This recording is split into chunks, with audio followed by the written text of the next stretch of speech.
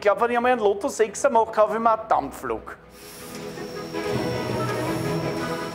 Die größeren Kinder, die freuen sich mehr am Dampfzug. Und die kleinen Kinder, die freuen sich mehr am Nikolaus. Also am Anfang haben sie uns haben sie gesagt, hey, was wollt's denn mit der Lok? Gell? Die ist langsam, das ist das und das und das. Verschwind's mit dem alten Klumpert.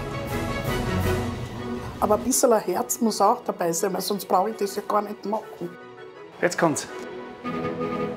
Mögen tue ich die Züge seit der Kindheit. Also äh, ich bin eigentlich mit der Eisenbahn aufgewachsen.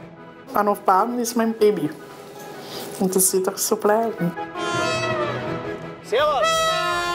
Ja, jetzt siegt ihr eh! Herzlich willkommen im Geger-Museum. Ich bin quasi 24 Stunden für das Museum erreichbar. Wir haben ca. 3000 Arbeitsstunden eingesteckt.